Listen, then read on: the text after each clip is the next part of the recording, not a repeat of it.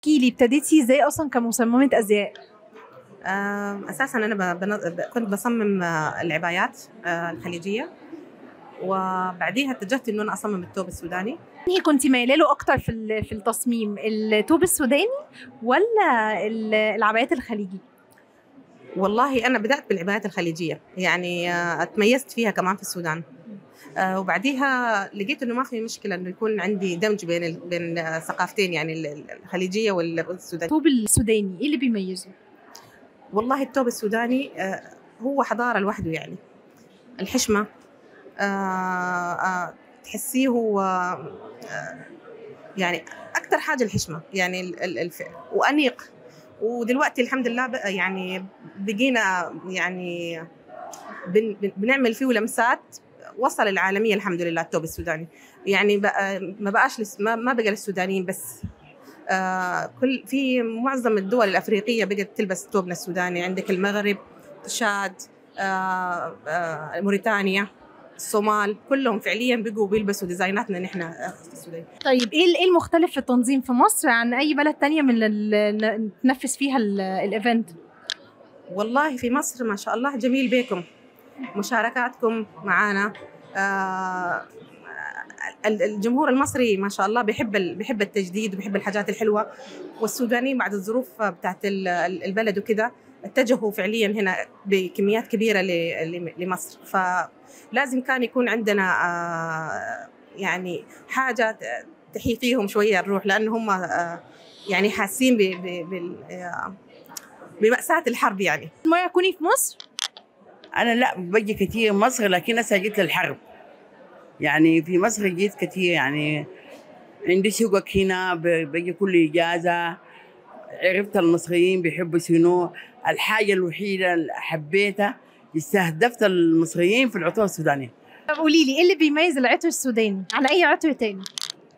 لا جميل لأنه عطر ثابت وجميل جميل جميل و- وبيلفتك من 20 متر انت بتشمي الستة السودانية. طب هل في عطور سودانية بتليق في الشتاء أكتر وفي عطور بتليق في الصيف أكتر؟ نعم. طب قولي لي مثلا إيه العطور اللي ممكن تليق في الشتاء أكتر؟ العطور في الشتاء العطور الثقيلة الثقيلة انت ما بتتعبي منها ما, ما بتحسي بزهق ولا كده. والعطور الخفيفة في الصيف. طب العطور بتاع الشتاء إزاي إزاي الست المصرية تختار ال- العطر السوداني؟ بما إن هي مش بتبقى عارفة فيه شوية. لا الس- ال- ال- الس- المصرية بتختلف نها- توتالي من السودان. لكن حبت الدلكة السودانية وحبت آه، خففنا العطر السوداني للست المصرية. أنا عملت مهرجان جانو يعني الحاجة اللي بسطتني واتبسطت منها.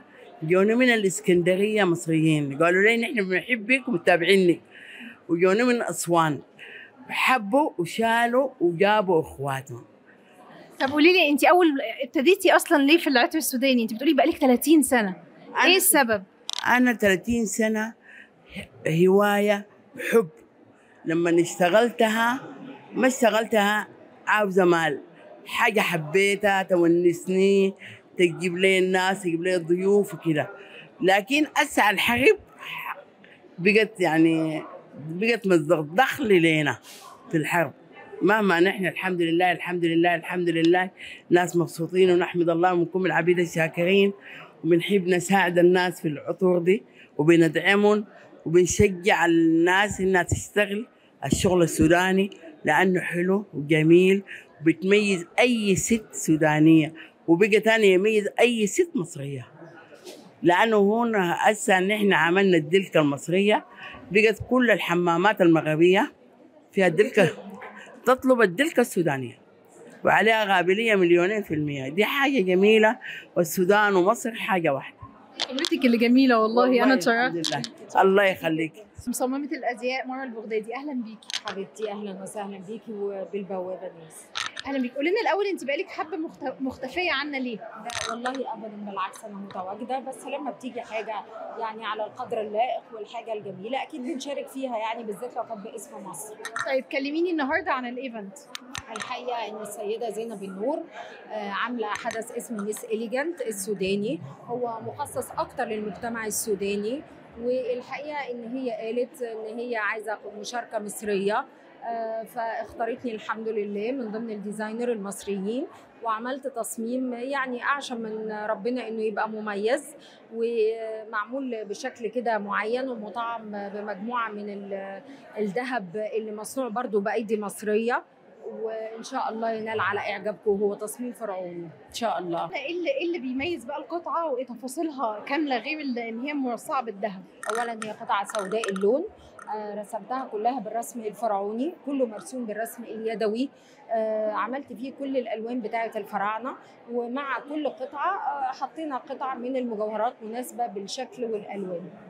انت بتدعموا كمان فكرة إن خلاص كل حاجة بأيدي مصرية. لازم لازم كلنا ندعم نفس الفكرة عشان آه، مجتمعنا يقوم والدنيا تبقى ألطف وأجمل. وإن شاء الله هنبقى أحسن ناس في الدنيا. إحنا أصلا أحسن ناس في الدنيا. آه، احكي لي عن عن شغلك وعن انت مصممة أزياء طبعا معروفة يعني احكي لي آه، شغلك بيتميز بايه لا شوفي أنا عندي خط في شخصيتي. يعني يعني بيعجبني بعض الصديقات الصحفيات في الإمارات منهم عبير يونس.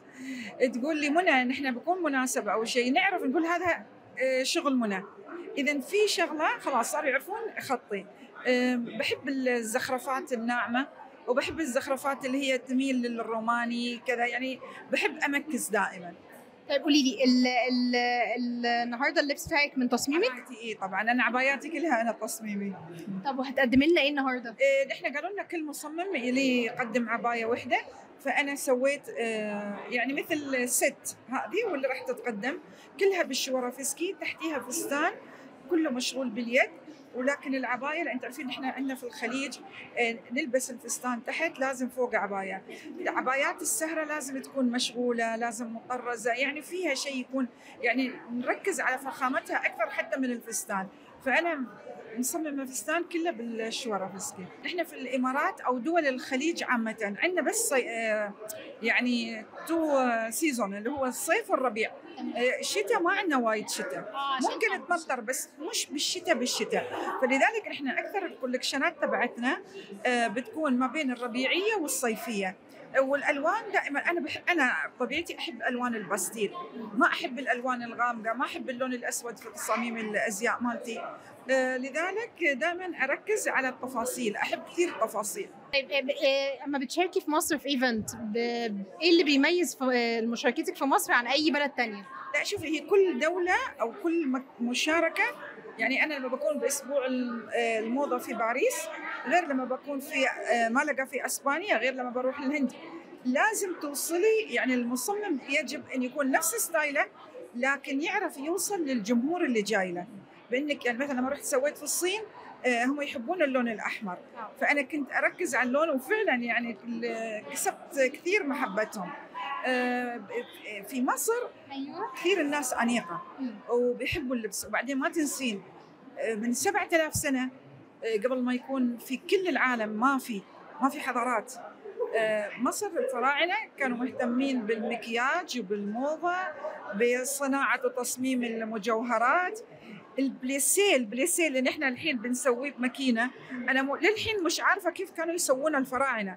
لو تشوفين في الجداريات فعندك الفراعنة آه، للأسف مش عاطين كثير آه، للموضة الفرعونية حقها. ولذلك أنا لما سويت في آه، الأقصر سويتها باسم نفرتيتي لأن هي نفرتيتي ملكة جمال وما زالت ولا يوجد أحد إلى الآن فمصر الحضارة في الأزياء. حلو الإنسان إنه يحييها. مصر ذوقين ولا أهلا بيكي منوره مصر. الله يخليك آه، مصر منورة بيكم وبينا تسلمي. قولي لي انت أول مرة تشاركي في event مصري؟ أيوة. آه على مستوى جمهورية مصر العربية لأول مرة. طب ليه اشمعنى ال event ده؟ بالذات اللي, اللي قررتي إنك تشاركي فيه. آه سلسلة آه سلسلة event ات. Miss Elegant أصلا آه هي بادية من السودان. وبالنسبة لنا نحن ك designer قاعد نلقى فيها نفسنا يعني لأن سلسلة بتاعت آه event ات آه ممتازة تتميز بالتنظيم بتظهر لنا قطعنا زي ما نحن دايرين بتبرزها لنا بصورة